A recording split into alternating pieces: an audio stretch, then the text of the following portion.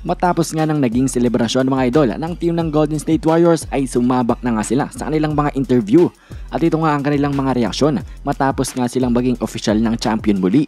Unahin natin si Steve Kerr mga idol kung saan sinabi niya congrats muna nga daw sa Celtics sa isang magandang series. Grabe daw ang kanilang depensa, grabe daw yung kanilang athleticism at haba ng mga players at very tough nga daw sila talunin para sa Warriors. Sabi niya pa lahat nga daw ng championship ng Warriors mga idol ay may mga ibang storya.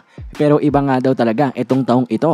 Hindi daw nila inaasahan matapos ang nangyari sa kanila for the last seasons. Una, out sa playoffs. Pangalawa, lagdag naman sa play-in tournament. Ginugulat pa rin daw siya neto ni Stephen Curry sa kanyang mga kayang ginawa sa liit ng size niya kumpara sa mga considered na all-time greats sa NBA. Sabi pa ni Coach Steve Kerr mga idol, espesyal nga rin daw na makita etong sila Wiggins, Looney, Gary Payton at Jordan Poole na umabot dito sa level na ito at makita nga raw ang kanilang impact at contribution na dito sa team ng Warriors. Ito namang si Stephen Curry mga idol. Una, sinabi ni Steph na God is great nga daw. At thankful nga rin daw siya mga idol sa mga teammates na ngayon sa laban nga nila sa magaling daw na team ng Boston Celtics. Iba daw itong championship na ito mga idol dahil sa mga naranasan nila netong mga nakaraang taon. Sa mga injuries, pagpapalit daw ng roster at sa mga bago at batang players nila. Sabi pa ni Steph mga idol, onti nga lang daw ang naniwala sa kanila na kaya pa nilang manalo. Pero nagtiwala nga lang daw sila mga idol sa kanilang sarili na kaya nilang muli manalo ng championship. Dagdag niya pa sa uli mga idol, kaya nga daw siya naging emosyonal at naiyak kanina ay dahil sa mga pinagdaanan daw nila para maging kampyon muli. Ito namang si Clay Thompson mga idol ay inalala muna yung kanyang naging mahirap na proseso sa pagbalik sa paglalaro dito sa Warriors. Yung mga underwater treadmill niya daw, yung kanyang mga rehab, pati daw yung mga panahon na hindi siya nakakahawak ng bola. Dagdag niya pa, natanggap niya nga daw yung kanyang injury na una, yung ACL sa tuhod.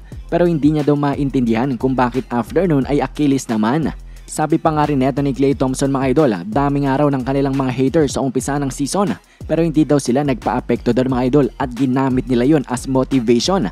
At sumang-ayon nga din siya kay Steph mga idol na itong championship nga daw ay different sa mga nakaraang championships nila. Si Andrew Wiggins mga idol na napakalaki ng tulong dito sa Warriors ngayon sa kanilang NBA title. Sabi niya sarap daw sa pakiramdam. It feels amazing nga daw na maging NBA champion.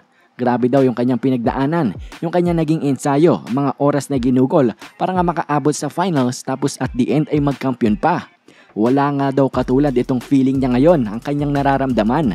Credits nga rin daw sa mga veterano ng Warriors na sila Stephen Curry, Klay Thompson, Draymond Green at Andre Iguodala dahil araw-araw daw silang china-challenge niya mga idol para nga maging mas better. Kaya naman sobrang naging motivational daw yon para sa kanya mag-improve at makatulong nga dito sa Warriors. At sa panghuli naman mga idol, etong si Draymond Green sa kanyang interview ay sinabi niya, winning is the most important nga daw para sa kanilang buong Warriors team. Yun daw ang kanilang goal, yun daw ang kanilang main focus at hindi nga daw halaga yung mga pang sariling goals. Nagtitiwala nga daw sila sa isa't isa at nagre-rely sa isa't isa. Pinuri niya nga rin mga idol itong si Stephen Curry dahil amazing nga daw ang kanyang naging performance ngayong season sa kanya ring buong karir. Patuloy nga lang daw na nasolidify ang kanyang all-time great career nang mapanalunan niya nga ngayon ang kanyang first finals MVP. Well-deserved nga daw ito para kay Stephen Curry mga idol dahil binuhat nga din daw sila para nga sa isa na namang NBA Championship. Yan nga mga idol ang mga reaksyon ng mga Warriors player sa kanilang pagkapanalo naman kayo ba mga idol, ano bang reaksyon nyo na itong team ng Golden State Warriors ay back on top? Sila muli ay champion? Komento nyo lamang ang inyong mga reaksyon. At yan ang lamang din muna mga idol para sa ating mga balitang NBA ngayon. Maraming ang salamat sa inyong panonood. Huwag na rin kalimutan na mag-like and subscribe. Bye!